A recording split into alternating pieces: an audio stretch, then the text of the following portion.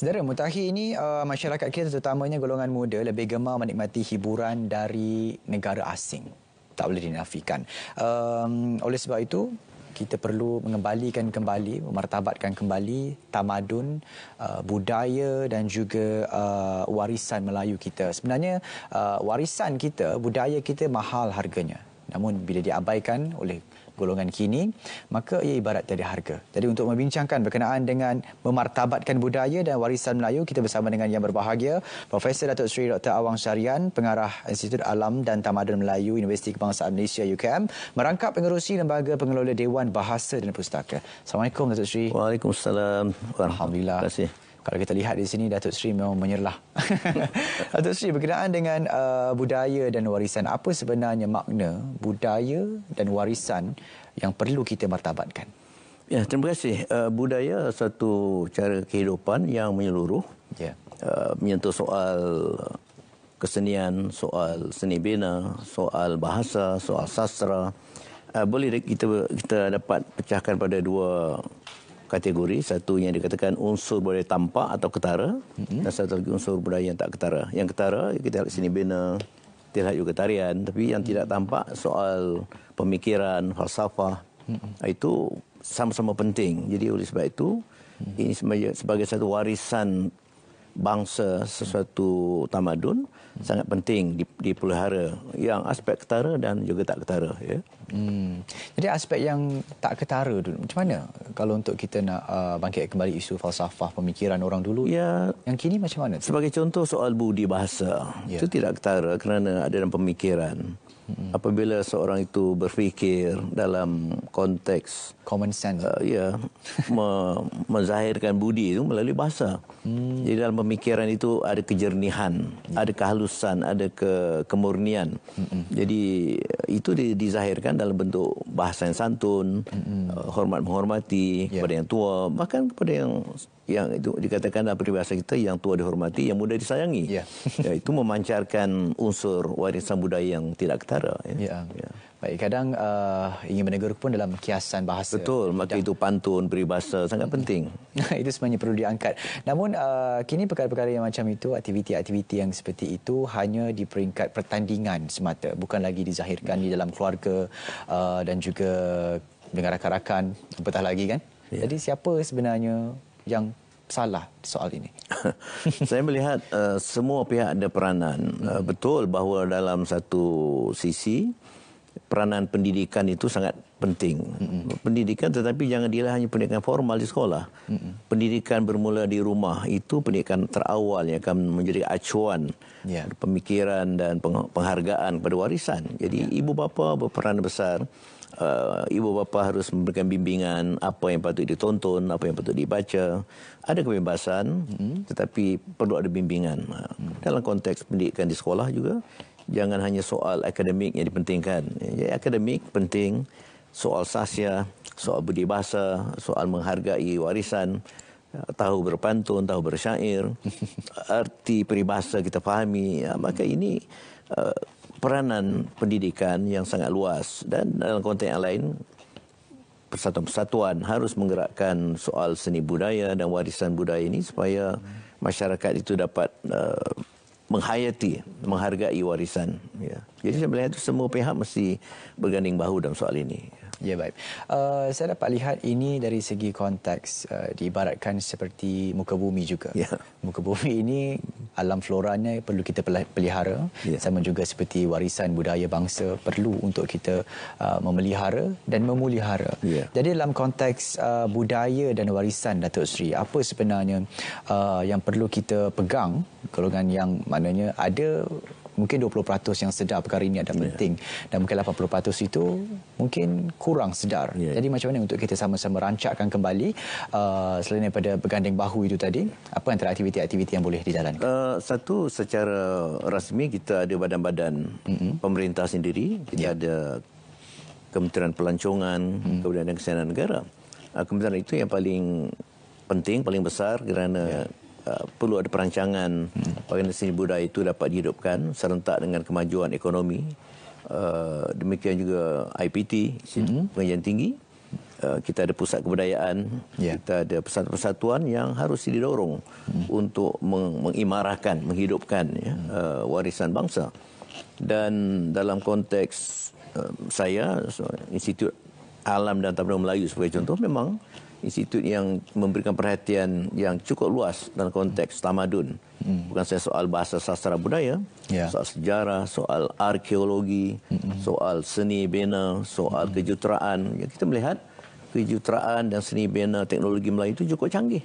Yeah. Kincir air, uh, soal seni bina istana itu semua dirakamkan dalam manuskrip lama. Jadi yeah. ini uh, peranan IPT dalam soal kajian, soal pendedahan, penyaluran maklumat dan ilmu kepada anak didik kepada mahasiswa sampai peringkat uh, PhD sebagai contoh mm-hmm. sangat penting. Mm-hmm. Dari segi satu lagi dari segi Dewan Bahasa Pustaka mm-hmm. melalui uh, kegiatan bahasa sastra dan penerbitan mm-hmm. saya kira ini dapat disalurkan kepada masyarakat mm-hmm. dengan dengan lebih terancang. Ya. Yeah. Saya uh, ada baru-baru ini melihat satu artikel menonton satu artikel berkenaan dengan uh, seni bina rumah Melayu Datuk Seri yeah. daripada atap, bumbung, lantai semuanya memainkan peranan yeah. supaya rumah itu kuat dan juga sejuk. Ha. Jadi uh, itu sebenarnya unik untuk kita itu teknologi. Teknologi. ya. Tradisi ya. Ya. Uh, kalau kita ikutkan sebagai Datuk Seri sini sebagai pengarah Institut Alam dan Tamadun Melayu ATMA Universiti Kebangsaan Malaysia UKM, apa antara langkah ataupun program aktiviti yang telah ataupun akan dijalankan?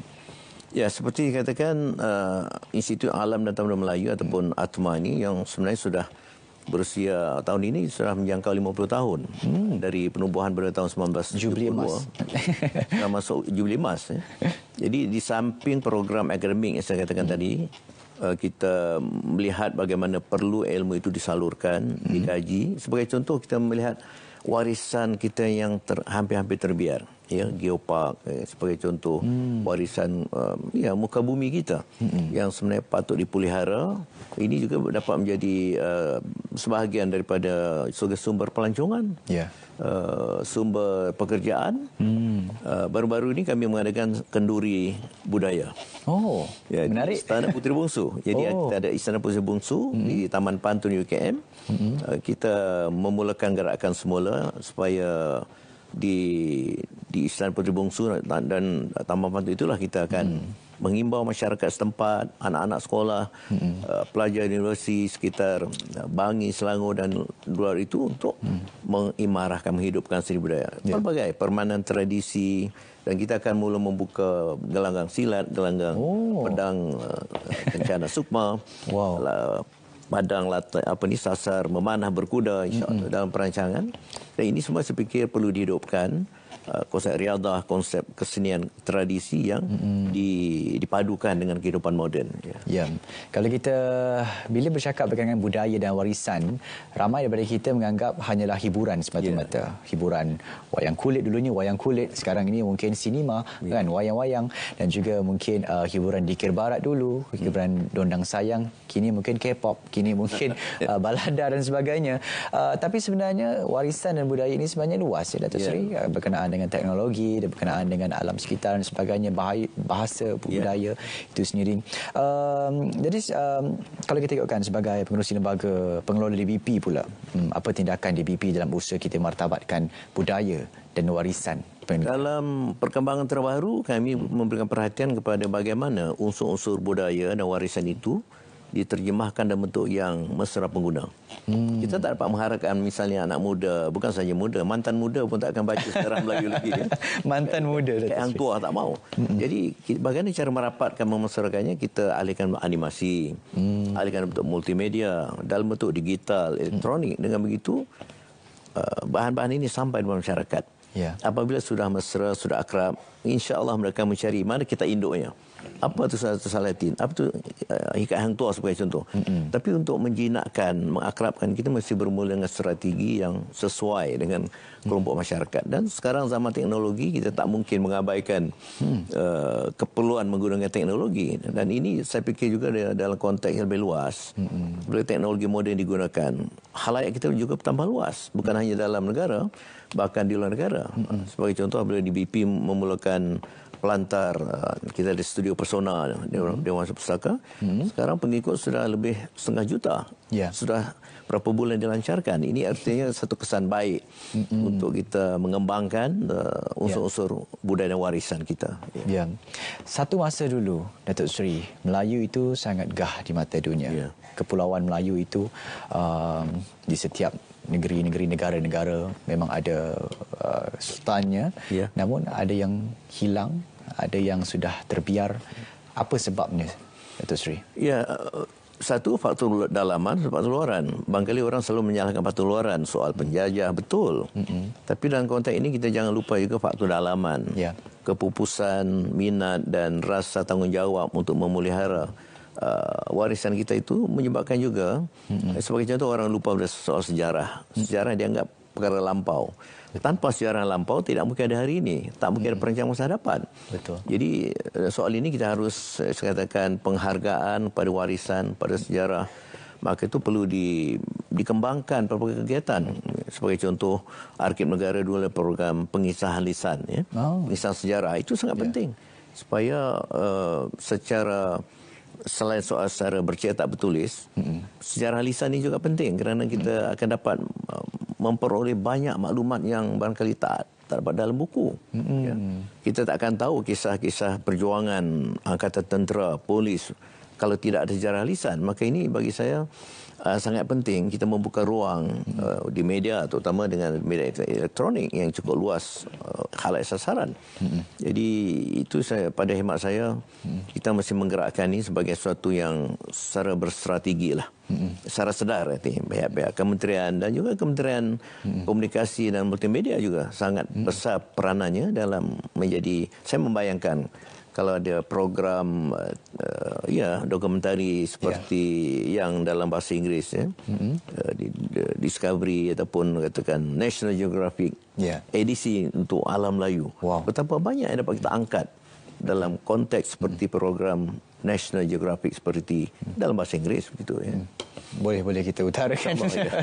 boleh kita rangka satu uh, kertas kerja mungkin. Mudah-mudahan. Mudah-mudahan. Atma boleh membantu insyaallah. uh, kalau kita bercakap berkenaan dengan uh, warisan budaya sekali lagi uh, warisan ini sangat mewah dan juga uh, Melayu itu sendiri merupakan satu bangsa yang agung di masa yeah. dulu.